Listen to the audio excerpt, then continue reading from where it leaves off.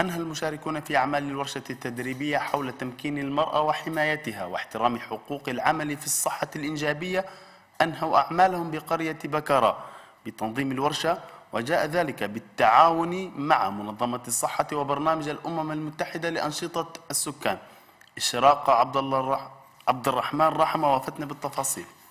خلال ثلاثة أيام أنهى المشاركون أعمال الورشة التدريبية التي نظمت من قبل وزارة الصحة العامة وبدعم من شركاء التنمية بالبلاد. لصالح عمال إدارة صحة الإنجاب يهدف إلى دراسة وإعداد المشروع وتبادل الخبرات فيما يتعلق بصحة الأم والطفل في منطقة الساحل لا سيما التحديات التي تواجه صحة الإنجاب. وبهذا الصدد قال المدير العام والمكلف بالخدمات الصحية حميدة مخلوف بأن الورشة تعمل على تأهيل المشاركين حول سبل تحسين مجال صحة الإنجاب بالبلاد.